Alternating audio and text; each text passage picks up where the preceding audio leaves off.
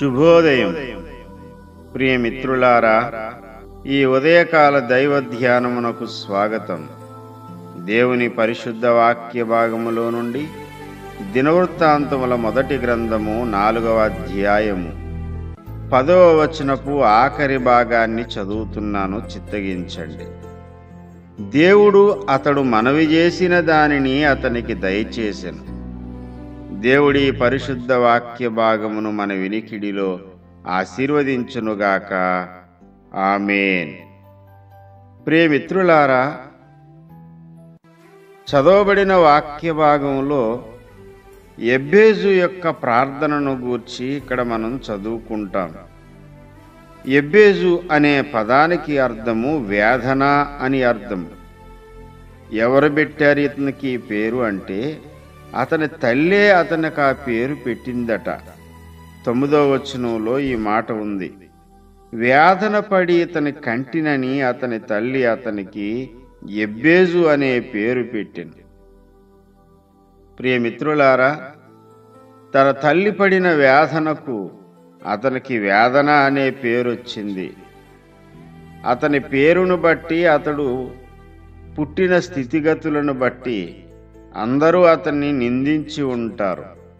ఎందుకంటే ఇతడు తన తల్లిని వేదన పెట్టి పుట్టాడండి అని అనేవారు నిందించేవారు అనేకులు ఉంటారు అనేక నిందల మధ్యలో అవమానాల మధ్యలో వేదనాభరితమైన తన జీవిత పరిస్థితుల మధ్యలో ఎబ్బేజు ఒక శ్రేష్టమైన కార్యాన్ని చేశాడు.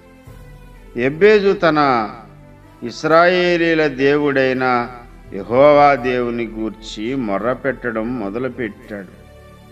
ప్రియమిత్రులారా తానున్న స్థితిలో తాను అదే రీతిగా ఉండిపోవడం తనకిష్టం లేదు.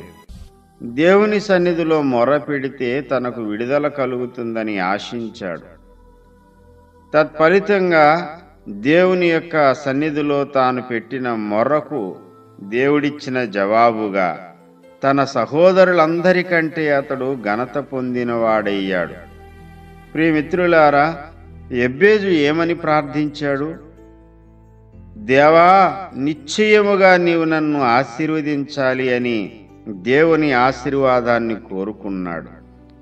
రెండవదిగా నా సరిహద్దులను నీవు విశాలపరచాలి అని దేవుని యొక్క సహాయము అర్థించాడు మూడవదిగా నీ చెయ్యి నాకు తోడుగా ఉండదయచేసి నాకు కీడు రాకుండా దానిలో నుండి తప్పించుమని దేవుని కాపుదలకు అప్పగించుకున్నాడు. ఈ విధంగా అతడు ప్రార్థన చేసిన వెంటనే దేవుడు అతని ప్రార్థన అంగీకరించాడు.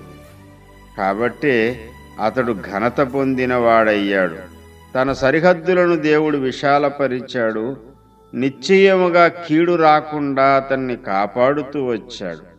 ప్రియమిత్రులారా ఈ ఉదయకాలం మనం కూడా ఎబ్బేజులాగా దేవుని సన్నిధిలో మొర్ర పెడదాం మన స్థితిగతులను బట్టి మనల్ని నిందించేవారెందరైనా ఉండని వారినెవరిని పట్టించుకోవద్దు. ఆ స్థితిలోనే నీవు అలాగే ఉండిపోవద్దు. నీ స్థితిని నీ గతిని మార్చగల శక్తి దేవుని యొక్క సన్నిధిలో ప్రార్థన చేయడం ద్వారానే. నీ స్థితిని గతిని మార్చగల శక్తి దేవునికి మాత్రమే ఉంది గనుక దేవుని సన్నిధిలో ఎబ్బేజులాగా మొర్రపెట్టు. నిశ్చయముగా దేవుడు నిన్ను ఆశీర్వదించునుగాక. నిశ్చయముగా నీ సరిహద్దులను విశాలపరచునుగాక. కీడు రాకుండా దేవుడు నిన్ను కాపాడునుగాక. ఎబ్బేజు ప్రార్థన విన్న దేవుడు ఈ దినం నీ ప్రార్థన కూడా అంగీకరించి నిన్ను బలపరుచునుగాక. దేవుడి యొక్క మాటలు మన వినికిడిలో ఆశీర్వదించునుగాక. ఆమెన్.